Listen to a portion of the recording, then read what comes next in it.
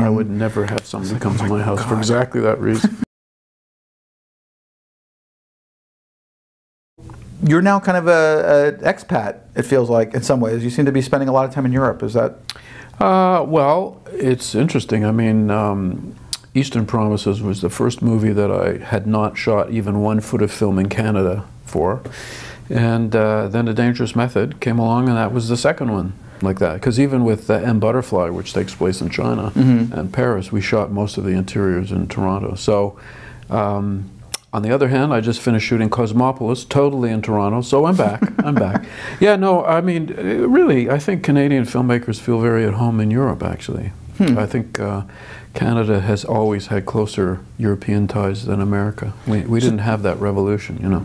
So did this material take you there, or did you go there and find the material? How did this? Well, the, the uh, Dangerous Method was really, I, I read Christopher Hampton's play. I haven't seen Mhm. it ever, but uh, Mm. read it, and, and uh, it, it revived in me my fascination for Freud and the birth of psychoanalysis and that wonderful period in Central Europe just before the First World War, which was so potent and so rich in textures and stuff. And so uh, it felt pretty right to go to Europe to shoot that movie, I must say. So this is kind of a talking method movie, at some level. It's his, I think after the the amount of action and, so- and the, Yeah, some of the yeah. worldliness of some of the last couple movies. Yeah, it, it's never really. I've never really noticed that, frankly. I mean, everything is interesting to shoot, Mhm. and I've never thought that dialogue was innately stagey as opposed to cinematic. I always thought the essence of cinema really is a face talking, really. So it, it to do this was not didn't feel strange to me. And in fact, the first movie I ever made, the first film I ever made, Mhm. was about a psychiatrist and his patient, and it was called Transfer. It was a seven-minute short underground Hmm. film. Yeah. So this is like coming full circle in many ways. So is the consideration when you figure out how you're going to shoot it? Are you thinking, okay, we have these big chunks of dialogue. How do we keep it moving? Yeah. Or It, you know, never bothered me. I mean, it was something that Jeremy Thomas, the producer, was worried about, and later Michael Fassbender said he was worried about it too. Hmm. He, you know, uh, before we shot, but afterwards, neither one of them was worried. Um, but I, it, it never bothered me. I mean, to me, it's always. I've always said the most difficult thing to shoot is two people in a room. Hmm. I mean, that is hard. Uh, shooting car chases, well, there's a certain predetermined thing you have to do when you do Mhm. that. Whereas two people in a room could you can shoot it anyway, and uh, or no way, and that's it's really really uh, infinite possibilities. And and uh, but I like that challenge. I've never been afraid of that. So this was all meat for me. Of course, in no this case, you have three action heroes. well, in I, don't- I, movie. don't- Or yeah, two men, I- three men of action, three, uh, two, wo- two men and a woman of action. you were used to seeing them run around. Well, I don't think that way. I mean, I don't really. In a, for for example, um, uh, when I'm making a movie, people have some some people have said, and mistakenly, uh, this is unusual for you. This is a different departure. Blah blah. But uh, I, I have to say, first of all, I don't think about my other movies when I'm making a movie. They mean nothing to me. They're totally irrelevant, other than just my confidence in my craft. But mm-hmm. that's you absorb that. That's not. But I don't think about the other movies. I don't care about what people's expectations are based on those movies. It's really irrelevant. You focus on the movie at hand. The movie tells you what it wants. It tells you what it needs for itself. Mm-hmm. It doesn't care about you and your career. And that's how I feel. And I think for the actors, my, my understanding of that is the same. I don't care what Michael Fassbender was in before or mm-hmm. will be, other than that it tells me that I have got the right guy. But once I've cast him, I don't care what he was in or what people expect from him. I only care how good is he being in this particular role. So I think it's kind of interesting in this case that, that their their natures, I guess, what we're used to seeing with them, still comes through while being Well, very still. I mean, in, yeah. in many the energy that the, each of them ha- that the two men have, particularly, Yeah. because she actually uh, she actually gets to do more physically, I think, in this picture than either of the guys. Yes. But you get that intensity Mhm. that you get with them when they're swinging a sword. Yeah. In this Well, I. I, I like that. I mean, I, I certainly didn't cast it thinking that, uh, but I but certainly um, you cast it saying to yourself, what will this actor bring to the role? Can this actor really animate this stuff? Because the dialogue is dense, mm-hmm. but it's also fantastic and, and obsessional and complex and interesting. And, and these people, these characters, the actual people, Freud and Jung and Sabina Spielrein, for them, talk was not an abstract thing. Their mm-hmm. ideas were not abstract things. They incorporated them into their lives, into their bodies. They, they really meant stuff to them and they acted on it. So, um, so it would be, it's appropriate, really, if you think of it, that they, they should be action heroes, you know, playing these characters. So Viggo seems Viggo actually on paper it seems like or whatever it seems odd, but he actually in some way seems like this is a character he was born to play because in regular conversation he is very thoughtful that Yeah. very you know No, I know. I mean, people say, and I and I and I, I take it as a compliment that Viggo, casting Viggo Mortensen as Sigmund Freud is not obvious casting. yeah And it's not obvious casting, but especially if you think of Freud as the sort of 80 year old, frail, cancer stricken, grandfatherly old guy, not mm-hmm. smiling. But when you think of Freud as he is in the movie, 50, in the prime of his life, very charismatic, very masculine, very aggressive, and very, you know, uh, not afraid. He has to. He's defending himself and his and this new invention of psychoanalysis against many enemies, and feeling that way. Uh, he's the guardian of the truth, and he will fight. Then suddenly Viggo is not such a strange choice after all, when you think of that Freud in particular. And then, uh, on, in addition to that, of course, uh, Viggo is, as you say, very, he's very scholarly and very well versed academically and so on, and very thoughtful. so did you know much of Michael's work before you hired him for this or Well, I saw everything that I could find of Michael's. Um, I saw Hunger. I saw um, uh, Inglourious Basterds. Mm-hmm. And it's interesting. In Inglourious Basterds, when you first see him, he's got a mustache and, and military bearing because he's playing a British officer. Mm-hmm. He shaves the mustache later in the movie, but uh, I thought, okay, that's that's that's the look I want for Jung. That looks very good, and his mm-hmm. bearing, even his posture. So you find little things in each movie, you know. And uh, and I saw Fish Tank as well, where which is completely different, but shows him as a very sexy and charming and but complicated and so on. And all, all of those things suggested to me that he would be great, um, and yet none of them is exactly the role. You know, Right. you, you, casting is a black art, as I've said many times. I mean, there are no rules. You really only have your own intuition as a director to go by. You don't really know how it's going to work until you're on the set. I mean, people talk about chemistry, for example. Well, look at it from the director's point of view. V- Uh, Keira Knightley and Michael Fassbender. will they have the chemistry necessary for these two characters who, who are patient and and and analyst and then lovers and then so on and so on. Um, I've never seen them in a movie together. I've never seen them in a room together. They've never met each other. I won't know if they have chemistry until I'm on the set with them and they start acting. And by that time, it's too late. You've cast them. So you have to really, it's a, it's a weird dating, you're like this weird dating guy, you know, putting people together. You know, You're the like- millionaire it's like directordating.com, you know, I have to put these people together and they have to work. Um, so uh, I I think casting is a huge part of directing, but it's very invisible, and most people don't understand it as part of what it is to be a good director. But you can kill your movie by miscasting, and and so once again, though I love Viggo personally and professionally, and we're very close friends. Uh, you don't do a guy a favor by miscasting him. You know, I mean, if if he's the wrong guy, you don't cast him because you like him. You know, that's that's and we trust each other on that level. He he was he wasn't sure that he was going to could be Freud. He he trusted me that he could be Freud. Well did you ever have to I mean I don't know how does it work with Viggo at this point do you direct him do you are you very hands-on mm-hmm. working through what he's doing or does oh he yeah, present sure, sure. Oh no, no, And- no, no. We're we're we're. I'm very hands on. Because it's yeah. a very style, a very definite choice for choices for him with Freud in this case. Yeah, and we discussed them all. You know, it's oh, oh no, I'm, I'm hands-on in the sense that we prepare, we decide what accent everybody will have because, of course, they were really speaking German. Right. So there's a question of okay, did would Freud have had a Yiddish accent? Did he speak Yiddish? Would he have had a Viennese accent when he spoke to Jung?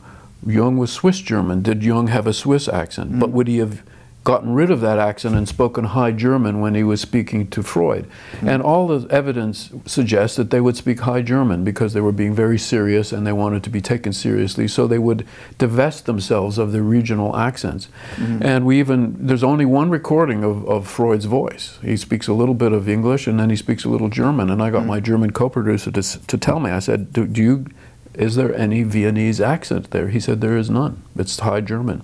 So mm. all of these things. Then, okay, now how do you do that in English, though? Because they're speaking English. Right. And the idea was that we would do a sort of a received English accent, um, mm-hmm. uh, which would be the equivalent of High German. Not ultra, ultra posh, but kind of formal. And then Viggo's was slightly different. He, he was a little more formal um, because of just his, his, his, position in society and so on. Mm-hmm. And, and so we modulate all that. And so that's, that's pretty hands on. I mean, these are all decisions we made together. Mm-hmm. Um, and then, of course, Keira is speaking with an English accent, but with a Russian accent on top of it, because she was Russian. And I mm-hmm. figured that when she spoke German, there are no recordings of her, but I was sure that she would not be a, a Russian cannot speak German without some trace of a Russian accent. So right. that was my rationale there. So yeah, with Viggo, with any, with any actor, um, there's a lot of prep. A lot of directing happens before you say action and cut. You know. Mm-hmm. And by the time they come to the set, they've read a lot. We've we've got their costumes, all of those, the hair, the glasses, all of these things, the accent have been discussed. Mm-hmm. At that point, I, I, I do let the actors go. I say, well, just show me what you got, and and only then will I step in if I think something's gone off a little bit, guide them this way, that way. Mm-hmm. With with professional actors, once you've done that prep, I don't say much. I mean, Ralph Fiennes told me he got the least direction he's ever had when we did Spider, but it's a fantastic performance. And once again, you know, in deciding how torn is Spider's raincoat, you know, mm-hmm. how screwed up is his hair, does he ever wash his hair, you know, stuff like that. Can he shave? Is he is this guy capable of shaving? So by the time we come to the set, he's got it. You know, I don't mm-hmm. have to do more, but I, but we've done stuff together. Of course, you have to have the director, the actor who well does that. It's well you working with great actors really helps the direction a lot. It's it's you know uh, I mean because at times you do end up working with almost extras, you know, people who are almost amateur actors, and that mm-hmm. those people require a lot. They re- require much more handholding than than your than your stars do. So I think Keira gives the performance of a career in this movie. Well, thank you. I love that. it's pretty stunning. Mm. Um, some people find it to be too much or whatever, but I, I personally think that it was. Yeah perfection. I mean, it's it's a daring, daring performance yeah, for her. I agree. I think, and she yeah. really nails it. I think. Totally. I mean, the the idea that that in portraying a hysterical woman, like suffering from hysteria, the disease, not just what we call hysterical, but mm-hmm. what at the time was considered a clinical class of, of mental disease, she's hysterical. You know how over the it can't be over right. the top. I mean, it, it they were over the top, and it, but it's not acting over the top. It's it's acting out on the part of the patient that's over the top. Not mm-hmm. Keira's performance is fantastic. Um, you have to accept that the audience is going to be intelligent enough to understand this. You know, I mean, it's and and the thing is that Keira and I once again we did a lot of research. Mm-hmm. Um, uh, Christopher Hampton had found the the notes that Jung wrote on the admission when, when she was admitted to the Burgholzli. So all her symptoms, all of this woman Sabina Spielrein's symptoms were noted in incredible clinical detail. We know exactly what her symptoms were, and we reproduce them. Um, and when you when you see footage of hysterical patients, because there is sort of silent footage from the turn mm-hmm. of the mm-hmm. century and so on, it is unbearable to watch. I mean, it's really hard to watch.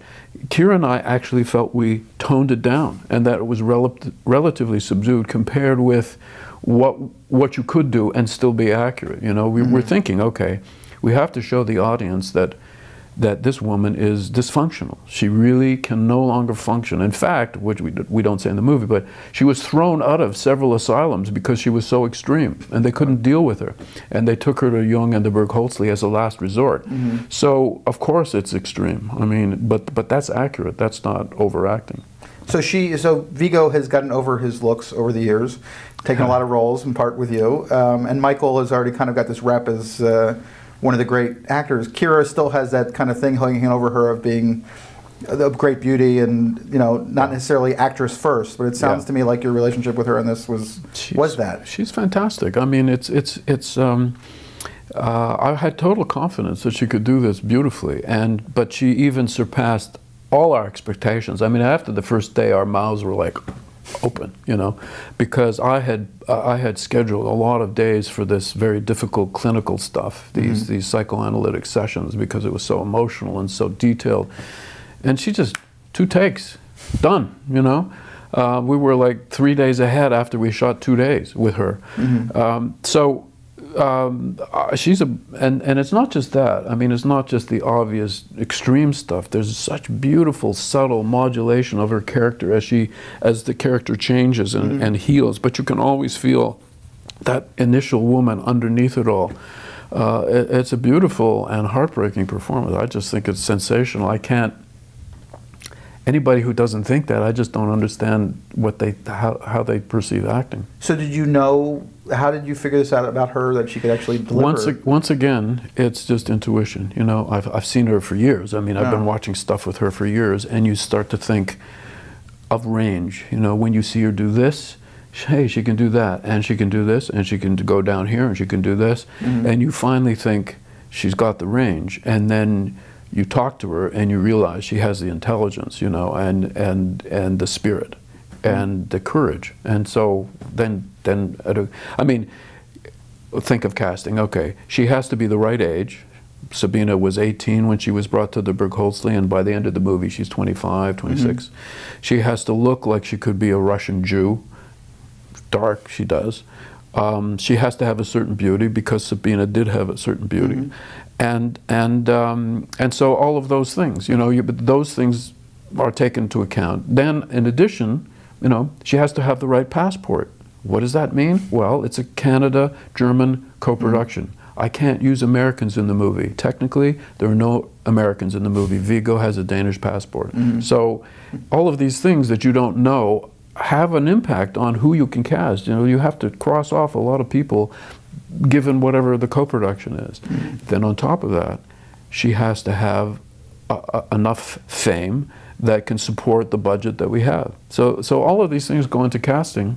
It's tricky. Well, people didn't actually. I mean, it's been a conversation, I guess, from Toronto on that uh, about her position in the awards race and all that stuff. And it's Mm-hmm. like she is the title. She's the top billed person. Yes. And it really is her story on some level. I mean, I That's think- right.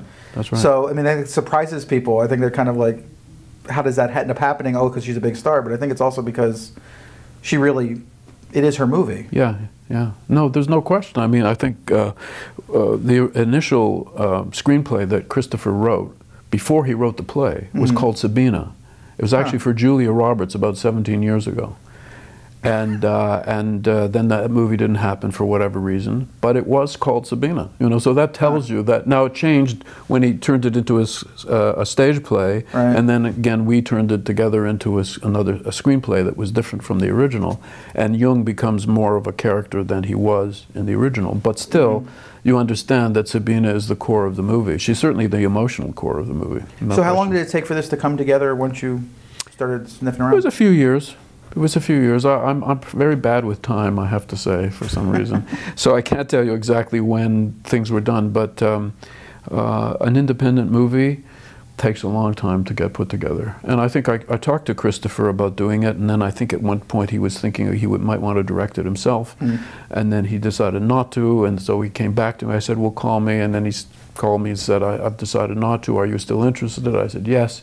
I think we should go to Jeremy Thomas." You know, it, it took a long time, uh, and then for Jeremy to put put it together is such a sort of Frankenstein quilt of financing that you have to put together. There literally were 14 or 15 financial entities uh, for, on this movie. Some were government, uh, Telefilm Canada, some some uh, some German provinces have money in it. Some individuals invested in it. Um, uh, pre-sales, you know, and, and they all have to sort of sign at the same time, and they all have to agree on who gets out first. I mean, it's a nightmare. So do you just hold but- tight and wait now, as it, from your own point of view? I mean, once you're interested, do you just kind of hang on and go, okay, it's going to take another year before my what I feel like doing is going to actually be able to be happening, or are you trying to do three other things at the same time and seeing which one comes first? My mother said patience is a virtue. She wasn't talking about directing directly, but boy, was she ever right. Um, uh, you, you have to have patience. And I, I, understand, really, it's sort of the same thing in the studio system, but for different mm-hmm. reasons. You, there's no quick way, usually, to make a movie. I mean, actually, uh, since Dangerous Method, I have shot another movie in Toronto called Cosmopolis.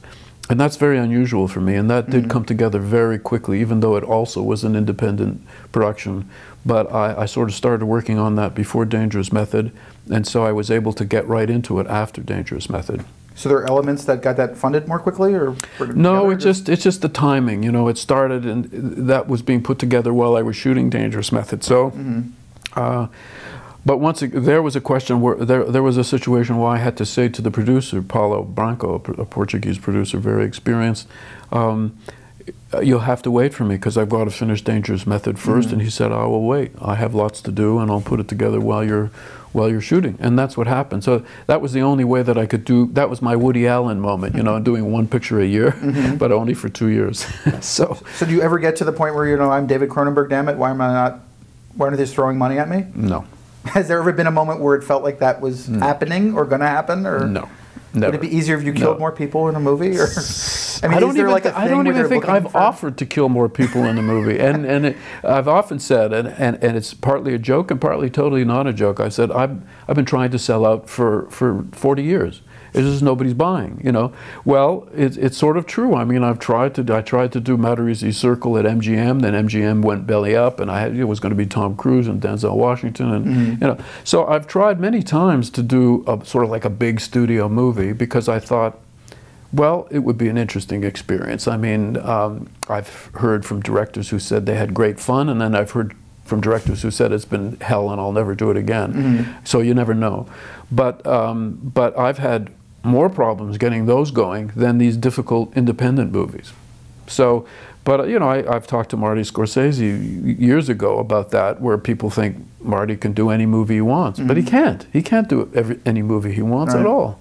Though he did kind of like make this weird step up at one point, where he went from making $35 million movies to making $100 million movies, and yeah. now he really hasn't made anything but $100 million yeah. movies yeah. since then. It's like That's he graduated right. or something. And in, in a way, yeah. I mean, uh, but I think he has a couple of projects that he has not been able to get off the ground that would be lower budget. I mean, yeah. of course, obviously, I have to talk to him about it, but that's what I understand. What's a funny thing is because once you get into a group, once they see you as part of a, a kind of filmmaking, they don't seem to see, want to see you as a different kind of filmmaking. And like Roland Emmerich is in that position now. He's kind of trans. This movie, Anonymous, is coming. It was a thirty-five million dollar movie or thirty million dollar movie, and different kind of film than you would expect from him, and, and everybody's a little scared. Yeah, yeah, yeah. like, how can you do that? Yeah, well, I remember when Marty did After Hours, and that was a low budget movie that he, he did feeling that he needed to prove that he could be efficient and, and do a low budget movie mm-hmm. at that period of time. So it happens in a, in a career. Yeah, I've never done. I mean, thir- the, em, Roland Emmerich's thirty-five million dollar movie. That would be my most expensive movie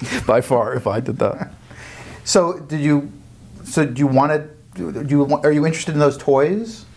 Well, you, Would you, you know these days you can you can CG and all that. Yeah, you know you can. I mean, Dangerous Method up to this point is, is full of CG. It's just invisible. Mm. All, all, you know, we're shooting in studio in Cologne. Mm-hmm. Out the windows of the Burgholzli, you're supposed to be seeing Lake Zurich. The, the natural surroundings were very important to the mm-hmm. movie.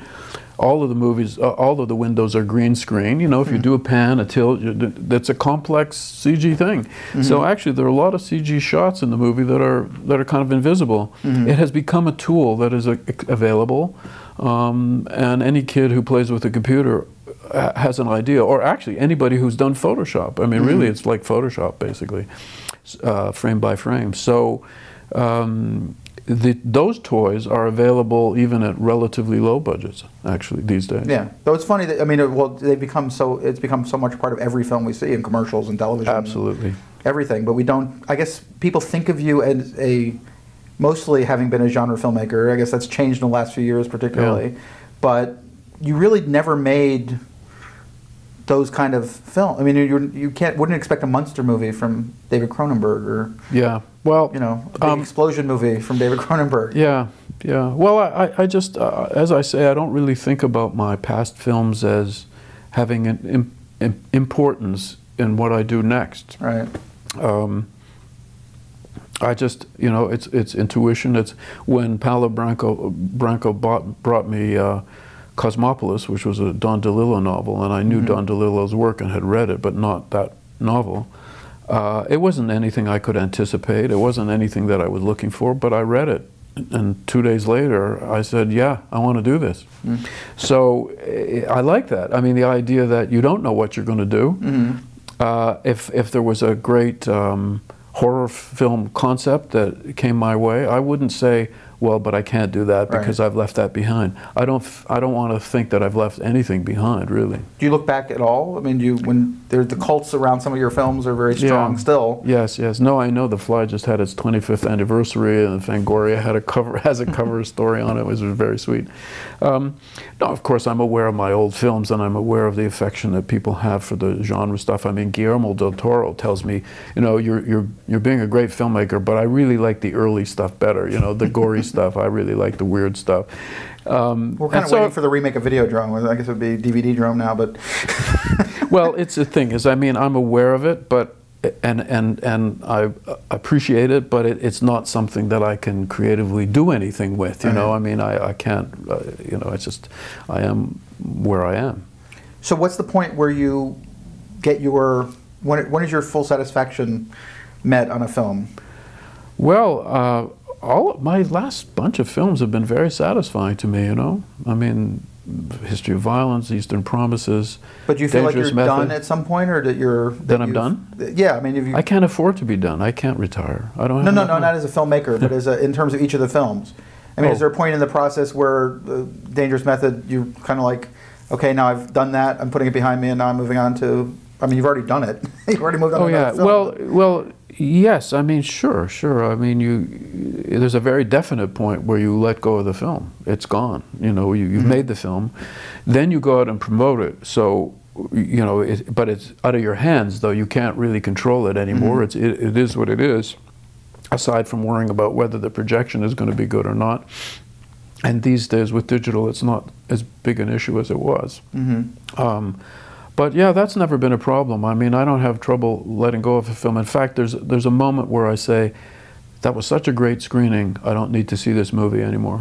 Usually, it's that, and often it's at a film festival like uh, uh, in Venice. You know, for for, Mm. for Dangerous Method, it was a great screening, a great rea- reaction, a great response, and I thought. I don't need to see this movie with an audience anymore. That's it. I don't need to see it at all anymore. It's done. So did you come back and wave at Toronto, or Uh, end of the at, in Toronto, I introduced the film, but I didn't sit through it. and you come back at the end, and no? you come back at the end and you blow kisses. uh, in some cases, you do a Q&A, you Mhm. know, but um, I've done that a few times. Is that moment satisfying, or is it just kind of like this is my part? This is the this is the part of it where I go out and sell the movie and promote, and I yeah, well, no, you, you're, you, it's part of the process. I mean, frankly, I, I think we should be paid for promoting the movie because you're spending a lot of, I'm spending more time on the road than it took to make the movie. You know, and that's the reality of it, and, and, and more for the director these days, especially in Europe, that they want the director. Yeah, sure, Mhm. they want the stars, but really they want the director. So you're spending a lot of time promoting the movie. Literally, it, it could be six months to a year Mhm. promoting a movie, um, and, and, and not every day, but a lot of time. Um, and that that's not unusual. I mean, Charles Dickens used to go on the road and read from his novels too. I mean, so promoting your artistic works is, is, is got a long history. But um, to get easier. it's it's it's it can be fun. I mean, it can be fun. Uh, it can be exhausting and it can be fun. And the the thing you don't want it to be is dispiriting. And and um, I guess if your movie was just kind of blah, that would be the worst. Because Mhm. if people hate it, that's something you can fight. You know, I mean, I had Crash. A lot of people hate it, and you know, I'd fight back. That was Mhm. okay. And then that that gets your energy up. Uh, or if everybody loves it, that's pretty good too. Mhm. I've never, I don't think I've done a movie where people were just kind of blah.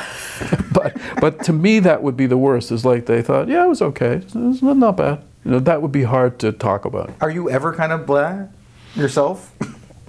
I don't think so. I don't think so.